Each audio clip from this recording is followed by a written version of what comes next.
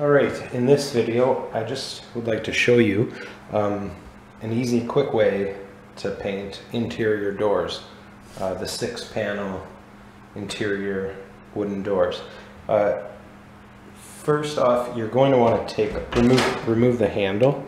It makes it a lot easier and quicker so all you want to do is get a Phillips screwdriver and uh, just unscrew the, uh, the screws on the inside. Once you have the screws off, you just want to take the handle off. Now, sometimes they can stick if the handle was put on uh, while the paint was still a little wet. So then maybe just take a sponge, just Make sure there's nothing on the, the door.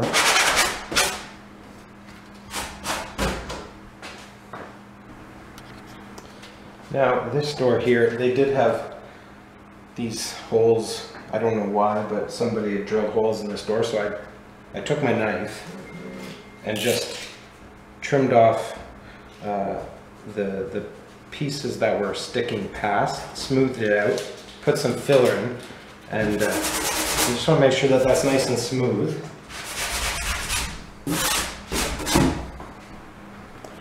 And then once uh, you get this part filled in with the brush, you just want to take your roller. I use uh, what 10 millimeter or 11 millimeter roller sleeves.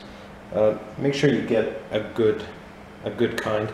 Uh, and then you don't want too much paint or else you could get runs. Just uh, enough on the roller that will put on a nice smooth, nice smooth coat.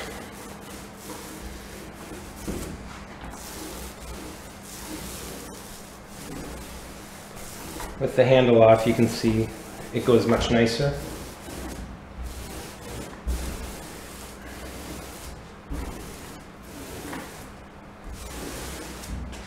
Then just let that dry for a few hours before applying the second coat.